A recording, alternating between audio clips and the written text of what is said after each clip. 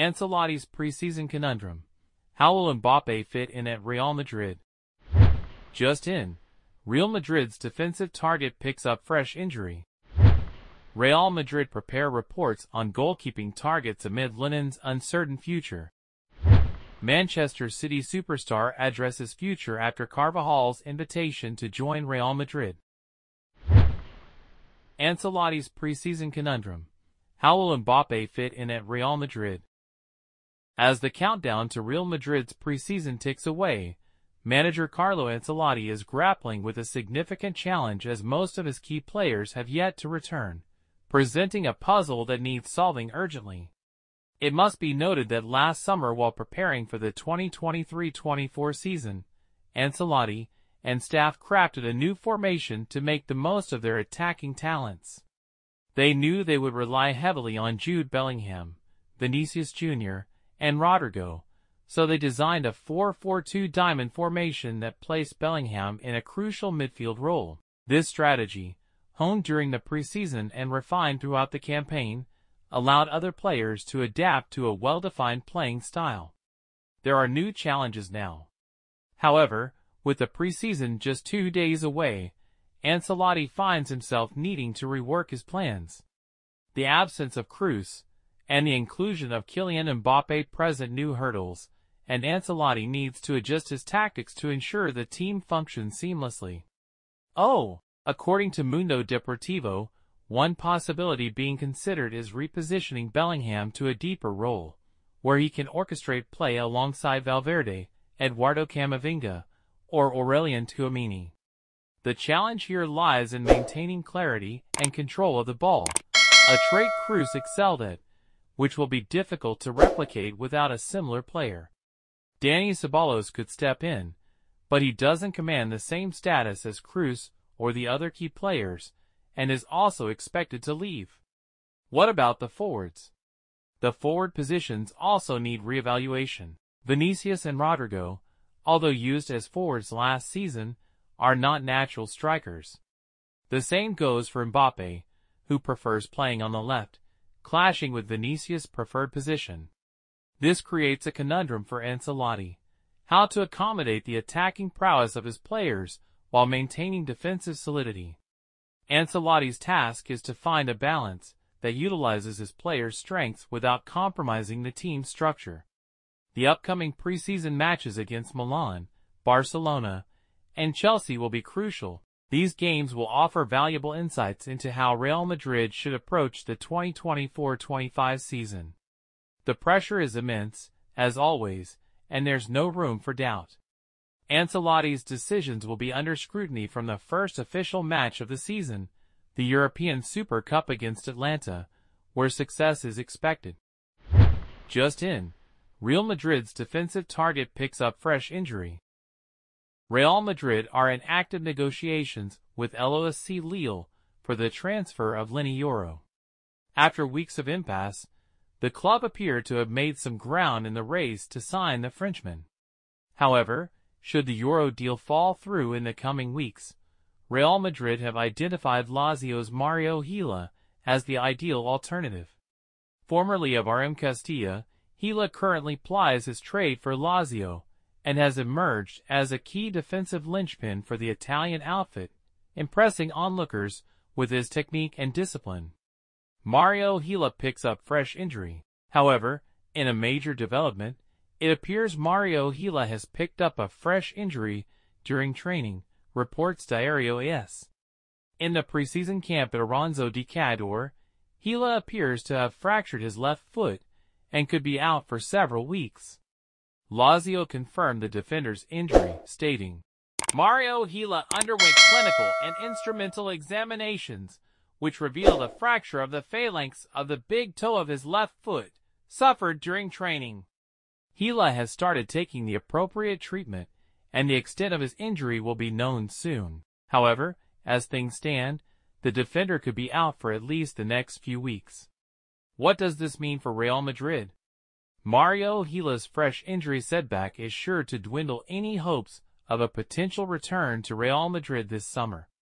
In any case, Gila's chances of returning to Santiago Bernabeu were slim given that Real Madrid have finally made some ground in the deal to sign top defensive target Leny Yoro. Los Blancos, though, would have liked having someone like Gila available as an alternative, especially with LOSC Lille still demanding a fortune for the Frenchman. Unfortunately, that might not be an option anymore, no thanks to Gila's injury. The club, though, will keep a close eye on the Spaniard's injury situation, knowing he could return to fitness before the end of the summer break. Real Madrid prepare reports on goalkeeping targets amid Lunin's uncertain future.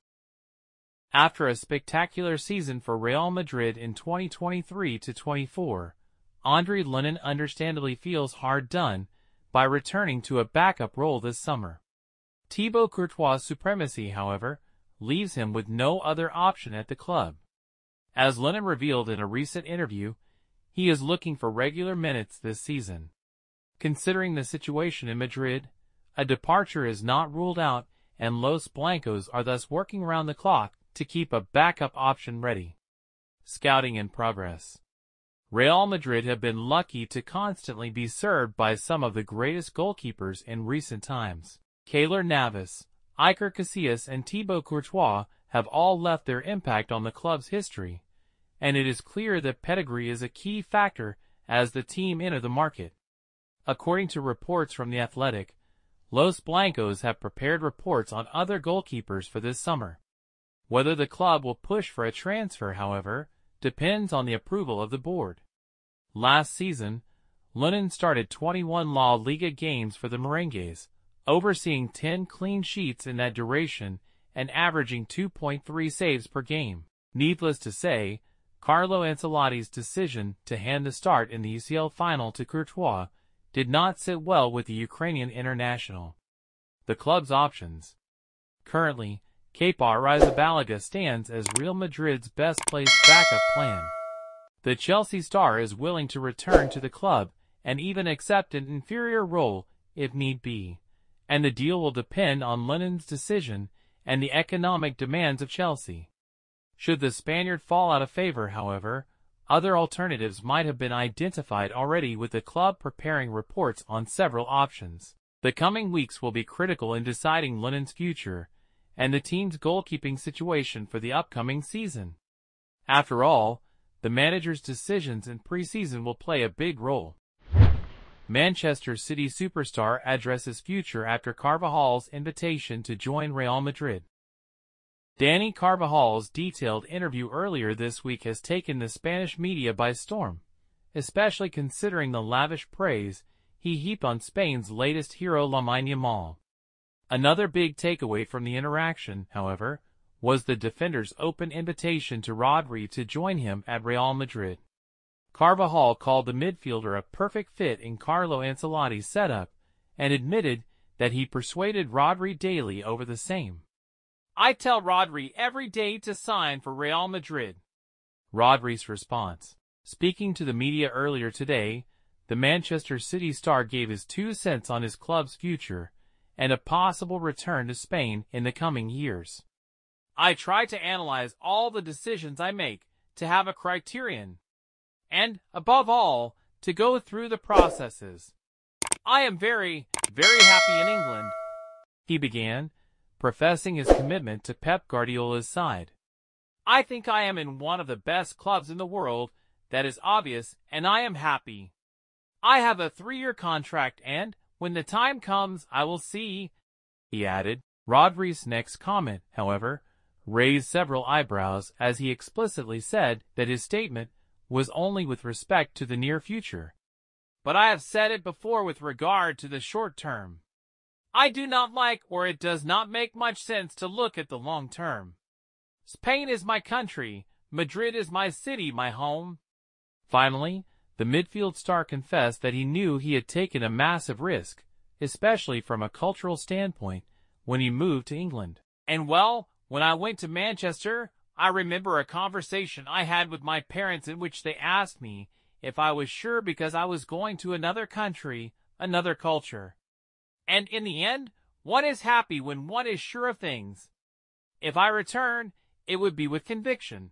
He added, hinting that the pieces would fall in line if he felt it necessary.